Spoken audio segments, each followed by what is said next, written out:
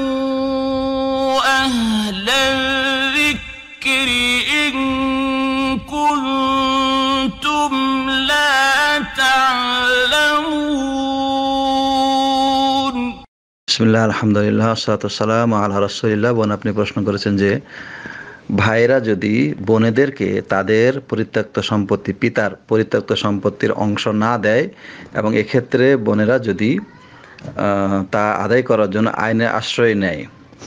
এই কারণে যদি ভাই বোনের সাথে সম্পর্ক ছিন্ন করে, তাহলে কি গুণাগার বোন কি গুণাগার হবে? বোন কেন গুণাগার হবে? বোন তো গুণাগার হবে না, সে তার অধিকার আদায় করতে চাচ্ছে। এবং এটা তার অধিকার। আল্লাহ সুবহানাহু ওয়া তাআলা তাকে অধিকার দিয়েছেন কোরআনে কারিমের ভিতরে। তো যদি তাকে সে অধিকার থেকে বঞ্চিত করা হয়, তাহলে নিশ্চয় যে বঞ্চিত করছে, সে অপরাধী, সে জালেম। অতএব আল্লাহ নবী সাল্লাহ সাল্লাম বলেছেন যে উনসুল জালেম অল মাজলুম। তোমরা মাজলুমকে সাহায্য করো, জালেমকেও সাহায্য করো। তো মাজলুমকে সাহায্য করতে হবে এইভাবে যে তার অধিকার যেন আদায় করিয়ে দেওয়া হয়। আর জালেমকে সাহায্য করতে হবে যাতে করে সে মানে মানুষের প্রতি জুলুম না করে, যার যেটা হক আছে সে যেন সেটা তাকে ফিরিয়ে দেয়। এইভাবে জালেমকে সহযোগিতা করা।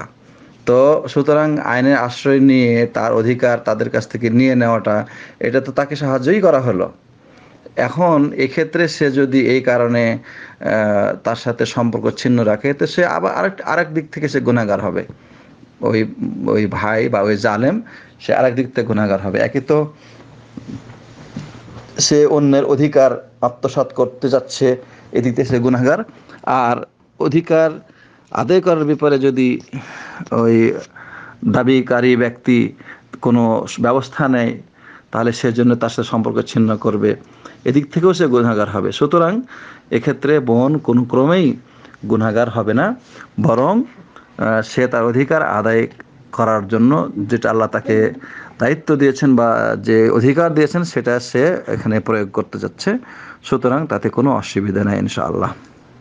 আর ওই ভাইকে যারা যে এভাবে জুলুম করে তাকে বুঝাইতে হবে, হুম, যে অন্যের সম্পদ আত্মসাৎ করার পরিণাম কি? দুনিয়াতে যদি তুমি আত্মসাৎ করো তাহলে হতে পারে আল্লাহ তোমাকে এর এর বিনিময় হিসাবে এখানে শাস্তি দিবেন অথবা পর এবং পরকালেও শাস্তি দিবেন। পরকালে আল্লাহ সুবহানাহু ওয়া তাআলা হয়তো বান্দার সব গুনাহ মাফ করে দিবেন, দিতে পারেন অন্যান্য যা তার হক সংক্রান্ত যে গুনাহগুলি রয়েছে। কিন্তু বান্দার হক যেটা, সেটা তিনি মাফ করবেন না যতক্ষণ পর্যন্ত বান্দা তাকে মাফ না করে। তো এই জন্যে সালিশের মাধ্যমে হোক বা পারস্পরিক কম্প্রোমাইজের মাধ্যমে হোক বুঝ পড়ার মাধ্যমে হোক এই সমাধানগুলো দুনিয়াতে করে নিতে হবে। কারণ কেয়ামতের দিন দিনার দিরহাম, টাকা, পয়সা, জায়গা, জমি কোনো কিছুই থাকবে না। সে সময় শুধু নেক আমল থাকবে। অতএব যে দাবিদার, তার দাবিকে পরিশোধ করা হবে দাবিকৃত ব্যক্তির নেক আমল থেকে।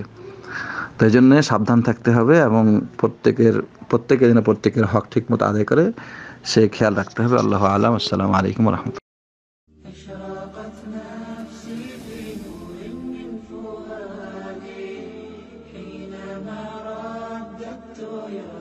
the night.